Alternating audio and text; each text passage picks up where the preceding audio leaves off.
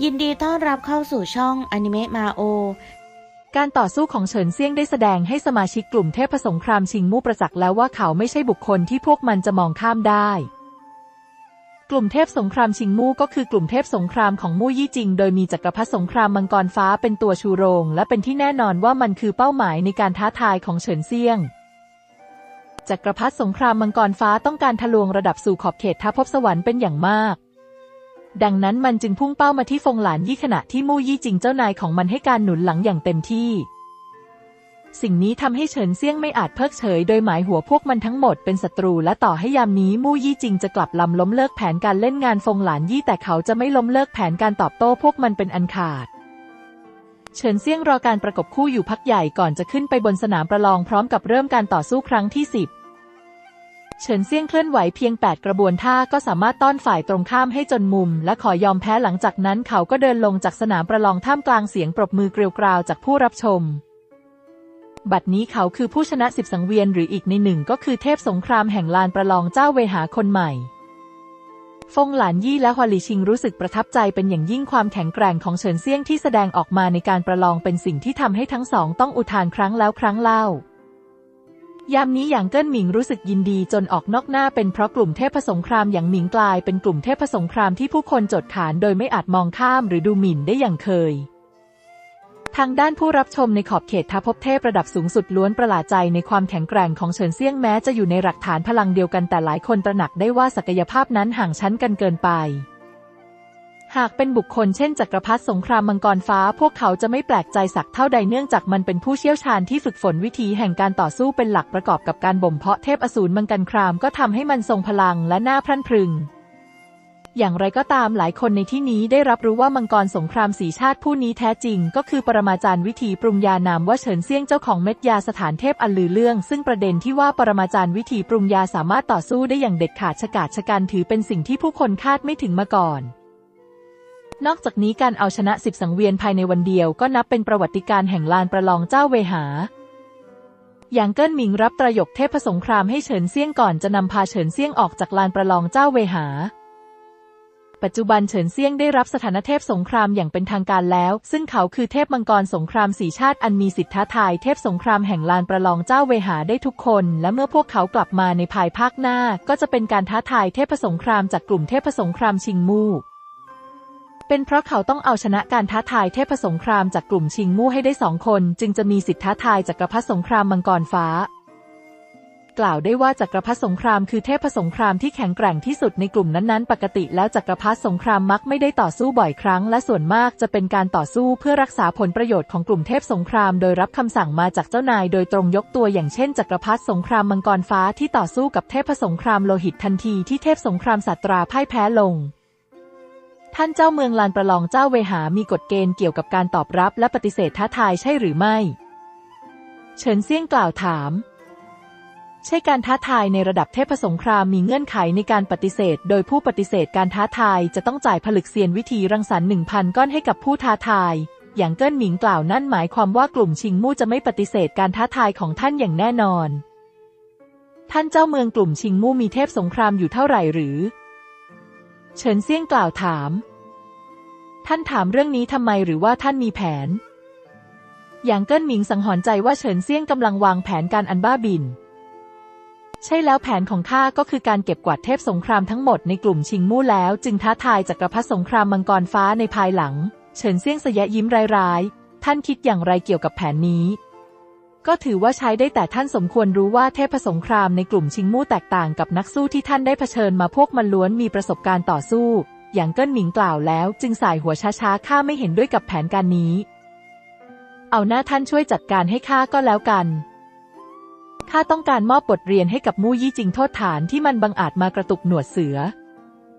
เฉินเซี่ยงกล่าว ดีพวกเรามาลองดูกันสักตั้ง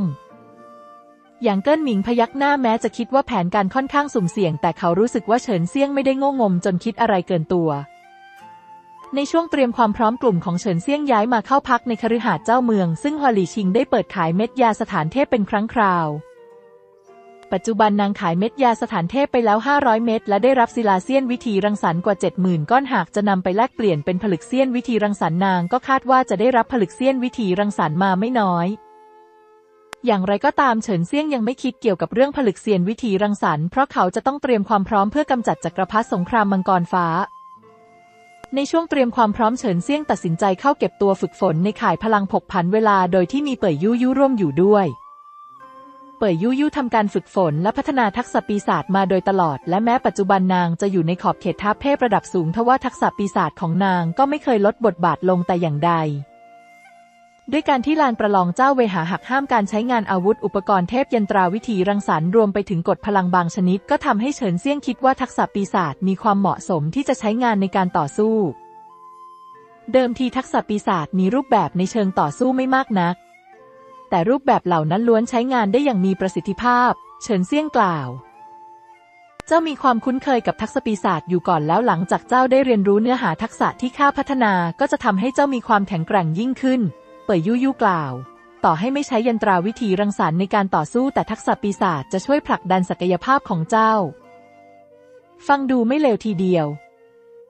เฉินเซี่ยงกล่าวด้วยรอยยิ้ม พี่สาวยู่ยู่ขอบคุณเจ้ามากจริง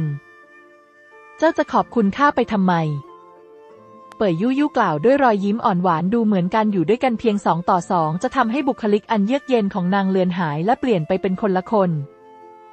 เมื่อเป่ยยู่ยู่สลัดคราบอิสตรีผู้เยือกเย็นออกนาง ก็คือหญิงสาวผู้งดงามอย่างไร้ที่ติเฉินเซี่ยงเห็นรอยยิ้มอ่อนหวานของเป่ยยู่ยู่ก็ไม่อาจหักห้ามใจเขาเข้าไปเคล้าคลออยู่ครู่ก่อนที่กิจกรรมระหว่างคู่รักจะดำเนินไปภายในแผ่นขายพลังผกผันเวลา ผ่านไปนานเท่าใดไม่อาจทราบเมื่อทั้งสองออกมาจากแผ่นขายพลังผกผันเวลาสู้เหมยเหยาก็กล่าวด้วยรอยยิ้มซุกซนว่าเจ้าอันธพาลน้อยข้ารู้ว่าเจ้าใช้การเรียนรู้ทักษะปีศาจเป็นข้ออ้างแท้ที่จริงเจ้าต้องการขมบยู่ยู่ เฉินเซี่ยงไม่โต้เถียงเพียงแต่ยิ้มขณะที่เป่ยยู่ยู่เดินหลบหน้าไปทางอื่นอย่างเฉยไฉข้าต้องไปพบท่านเจ้าเมืองก่อน เฉินเซี่ยงกล่าวสั้นๆ แล้วจึงออกจากกระจกเทพหกวิถี เท่าแก่เฉินข้าดำเนินการท้ายให้ท่านได้แล้วข้าไปดักรอสมาชิกเทพสงครามชิงมู่ที่ลานประลองเจ้าเวหาจนกระทั่งได้พบเทพสงครามโลหิตอย่างเกิ้นหมิงกล่าวขึ้นดูเหมือนการต่อสู้ของท่านจะไม่ง่าย เพราะชายคนนี้แข็งแกร่งมาก ท่านไม่ต้องกังวลเป้าหมายของข้าจักรพรรดิสงครามมังกรฟ้าหากไม่สามารถเอาชนะเทพสงครามโลหิตข้าก็ไม่แข็งแกร่งพอจะเอาชนะจักรพรรดิสงครามมังกรฟ้า เขากล่าวด้วยสีหน้าไร้กังวลครั้น จึงหย่อนกายลงนั่งอย่างสบายอุราดูเหมือนเป่ยยู่ยู่จะทำให้เขารู้สึกอิ่มเอมใจอย่างยิ่ง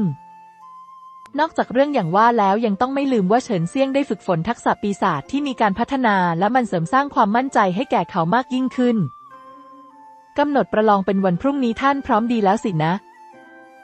อย่างเกิ้นหมิงกล่าวเขาสังเกตได้ว่าเฉินเซียงมีความมั่นใจล้นเปี่ยม หากท่านสามารถเอาชนะเทพสงครามโลหิต ก็จะได้รับผลึกเซียนวิธีรังสรรค์สิบก้อนจากกลุ่มเทพสงครามชิงมู่แต่หากพ่ายแพ้ข้าจะต้องจ่ายผลึกเซียนวิธีรังสรรค์ให้พวกมัน แม้ข้าจะรู้ว่าการสูญเสียสิบผลึกเซียนวิธีรังสรรค์ไม่ใช่สิ่งที่ระคายขนหน้าแข้งของท่าน แต่ข้าไม่คิดจะให้ท่านต้องสูญเสีย เฉินเซียงกล่าวด้วยรอยยิ้ม จะว่าไปแล้วข้าก็อยากรู้เหมือนกันว่า เมื่อถึงเวลาที่ข้าเอาชนะเทพสงครามโลหิตได้มู่ยี่จริงจะให้จักรพรรดิสงครามมังกรฟ้าท้าทายข้าด้วยผลึกเซียนวิธีรังสรรค์หนึ่งพันก้อนหรือไม่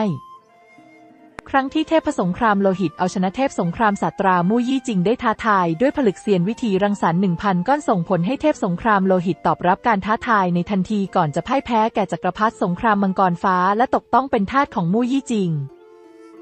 เรื่องนี้ข้าไม่อาจคาดเดาได้แต่วันพรุ่งนี้พวกเราจะได้รู้กัน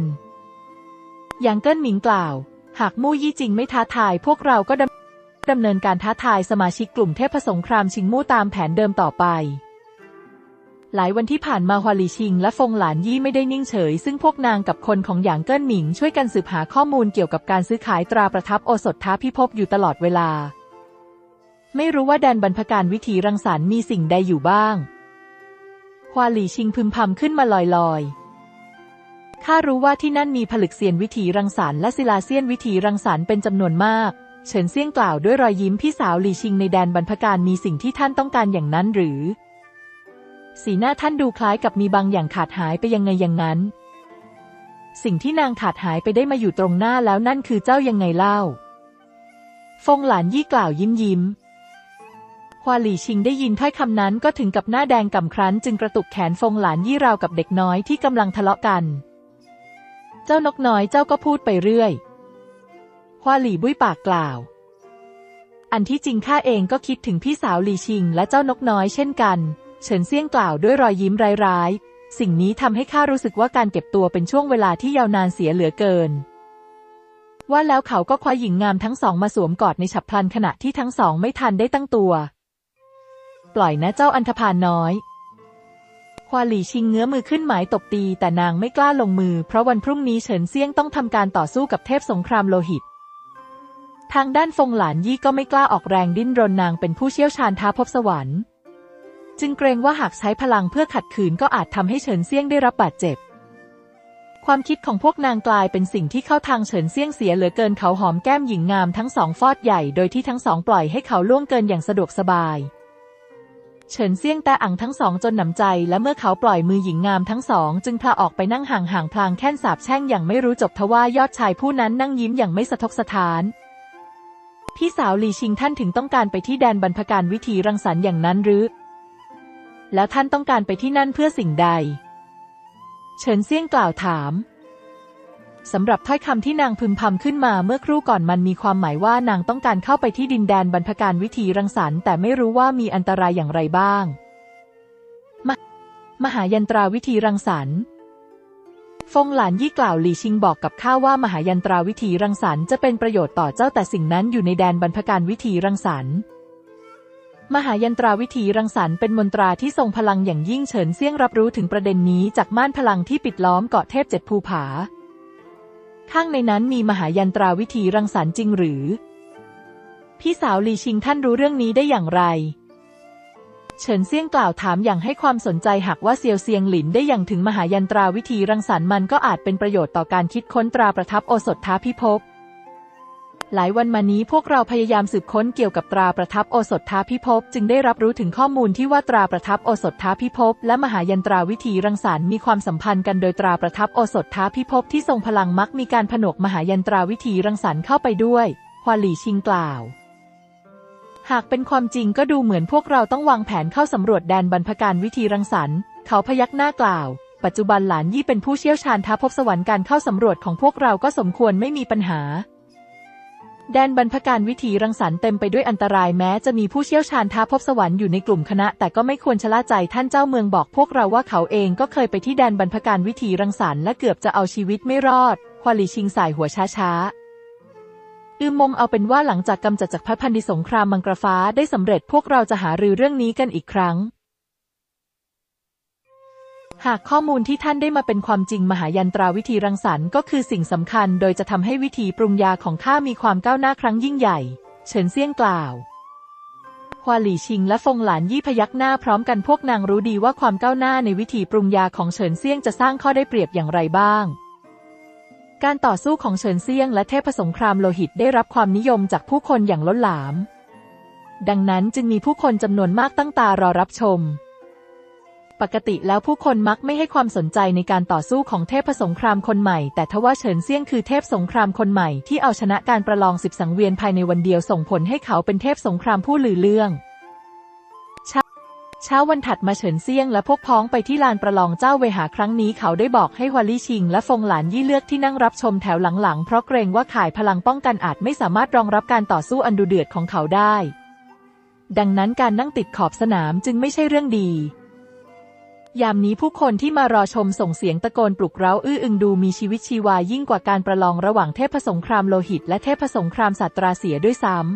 ำเท่าแก่เฉินหากท่านเอาชนะการประลองข้าจะแบ่งผลประโยชน์ให้ท่านครึ่งต่อครึ่ง อย่างเกิ้นหมิงกล่าวด้วยน้ำเสียงตื่นเต้นเป็นเพราะที่นั่งรับชมการประลองเต็มทุกที่นั่งขณะที่ค่าเข้าชมมีราคาแพงขึ้นเป็นประวัติการณ์ ตราบใดที่เฉินเซี่ยงเอาชนะการประลองค่าเข้าชมทั้งหมด จะตกเป็นของหยางเกิ้นหมิงแน่หล่าว่ามันคือศิลาเซียนวิธีรังสรรค์จำนวนมากมายมหาศาล โอ้ถ้าเช่นนั้นข้าต้องกล่าวขอบคุณท่านล่วงหน้า เฉินเซี่ยงกล่าวด้วยรอยยิ้ม แน่นอนว่าหยางเกิ้นหมิงไม่คิดจะเอาเปรียบเฉินเซี่ยงเพราะกลุ่มเทพสงครามอย่างหมิงมีชื่อเสียงโด่งดัง และได้รับความนิยมจากผู้คนก็มาจากความแข็งแกร่งของเฉินเซี่ยงเพียงผู้เดียว ดังนั้นเขาจึงยินดีที่จะมอบส่วนแบ่งให้กับเฉินเซียง เทพสงครามโลหิตก้าวขึ้นไปบนลานประลองเป็นคนแรกทันใดนั้น ผู้คนจำนวนมากก็ส่งเสียงตะโกนดังสนั่น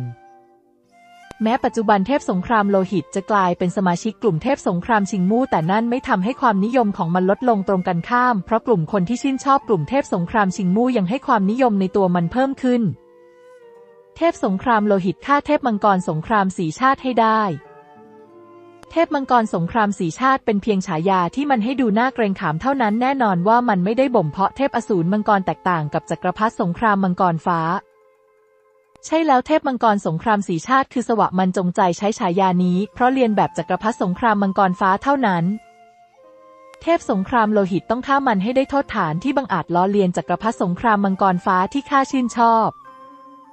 ผู้คนที่ชื่นชอบกลุ่มเทพสงครามชิงมูลชูดปลุกเร้าและพากันสาบแช่งเฉินเซี่ยงอย่างเกรี้ยวกราดบ้าคลั่งเฉินเซี่ยงที่ได้ยินก็กระโดดขึ้นไปยืนตระหง่านกลางลานประลองเขายกยิ้มมุมปากพลางคิดอยู่ในใจว่าเมื่อการระต่อสู้เริ่มขึ้นเขาจะเอาชนะฝ่ายตรงข้ามด้วยทักษะพลังที่เด็ดขาด และดุดันเพื่อเหยียบย่ำจิตใจของผู้คนที่มีอคติต่อตัวเขายามนี้อย่างเกิ้นหมิงมองเห็นชายกลางคนในชุดสีน้ำเงินเดินตรงเข้ามาแน่หละว่ามันไม่ใช่ใครอื่น ซึ่งก็คือมู่ยี่จิงเจ้านายกลุ่มเทพสงครามชิงมู่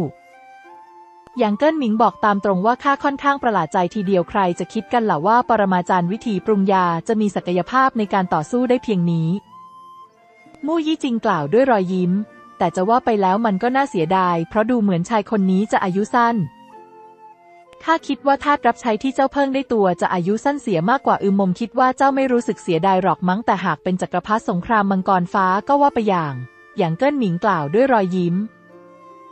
จักรพรรดิสงครามมังกรฟ้าที่ติดตามมากับมู่ยี่จิงได้ยินเข้าก็รู้สึกเดือดดาลอย่างยิ่ง แต่ทว่ามันต้องเก็บอาการเอาไว้ เพราะรู้ดีว่าตนเองอยู่คนละระดับกับหยางเกิ้นหมิง